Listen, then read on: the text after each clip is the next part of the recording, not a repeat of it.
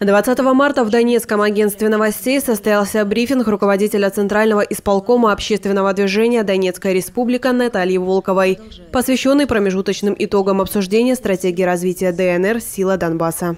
Работа ведется по нескольким направлениям. На 20 марта 2018 года в колл-центр «Сила Донбасса» поступило 383 звонка. Из них социальная тематика 142, экономическая 158, политическая 83. Также мы напоминаем, что на официальном сайте общественного движения «Донецкая республика» э, существует форма для направления предложений.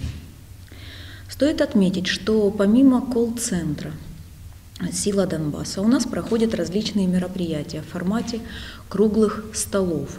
Так, за истекший период было организовано 13 центральных мероприятий э, в рамках общественного обсуждения стратегии развития сила Донбасса, которые посетило 1345 человек. Помимо этого мы проводим сходы с жителями, встречи на предприятиях за истекший период. Э, в них приняли участие в целом 10 360 человек.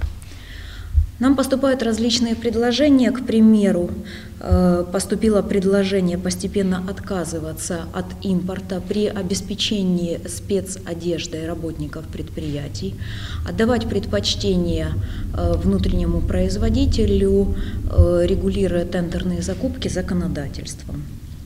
Хочу также отметить, что при обсуждении жители нашей республики не ограничиваются только экономическими и социальными вопросами. Так, в частности, жители республики поддерживают озвученный Александром Владимировичем Захарченко тезис, что сильный Донбасс дал, даст толчок изменениям во всей Украине. Таким образом, мы можем говорить, что Э, сейчас мы получаем отклик от жителей по всей территории нашей республики. Все предложения, поступившие к нам, систематизируются, классифицируются, обрабатываются и будут рассмотрены на предмет включения в стратегию развития «Сила Донбасса». Мы всегда открыты для предложений. Для нас важно мнение каждого жителя нашей республики. Алина Черняева, Евгений Полянский, Новороссия ТВ.